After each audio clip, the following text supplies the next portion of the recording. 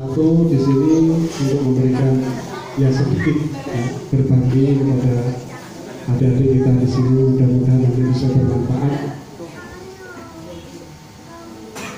Selanjutnya kami juga mohon maaf apabila kedatangan kami di sini adalah uh, mengganggu aktivitas.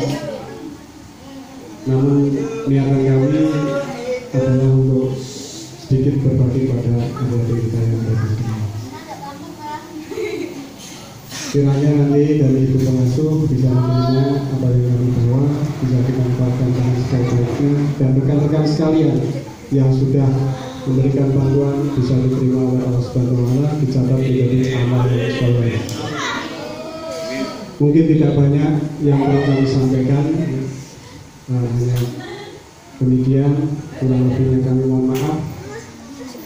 Perlu disang, eh, ketahui pada rekan-rekan sekalian, mohon maaf ini saya tanda nggak tahu ini Pak Hadi ini sebenarnya ketuanya, tapi tiba-tiba didelegasikan pada kami ya.